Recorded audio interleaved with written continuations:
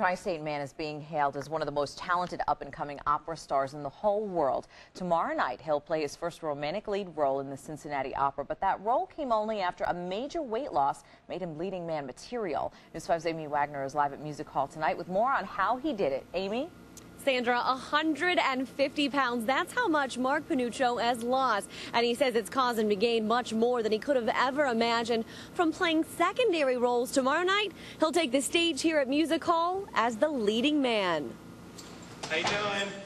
Mark Panuccio is no stranger to major transformations. Tomorrow night, he'll transform into Edgar, the lead in the Cincinnati Opera's production of Lucia di Lammermoor.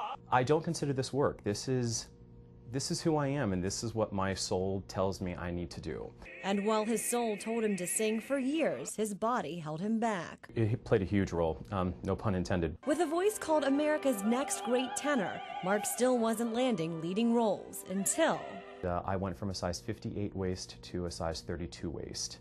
It took two years to shed 150 pounds. By losing the weight, he gained the look of a leading man.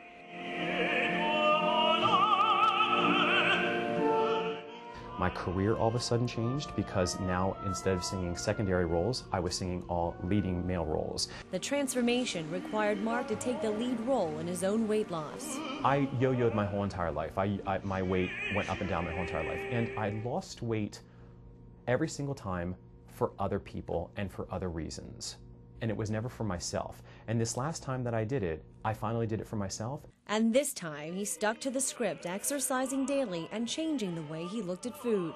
I became accountable for everything that I put in my mouth. I wrote everything down before I put it in my mouth. And what came out, his voice sounded even better. I actually think it's made it a little bit clearer. The focus Mark put into transforming his life, he now puts into transforming his audience. I want to bring them onto the stage with me and have them feel the emotions that I'm feeling and have them experience this amazing craft. An amazing craft that Mark has made his career, which is now following his voice and hitting the perfect note. It has transformed my whole entire life. And it's amazing when one track of your life is absolutely perfect, everything else seems to fall in line. Mark getting so much attention, he even has a loyal fan following based here in Cincinnati, Cincinnati called the Fanucci's. Now, if you're interested in attending the performances, both Thursday and Saturday, there are still tickets available. And by the way, the female lead for this, Sarah Coburn, when she hits the stage tomorrow night, she is expected to hit one of the highest notes ever sung on the stage here at Music Hall. Live from Music Hall tonight, I'm Amy Wagner, News 5, where the news comes first.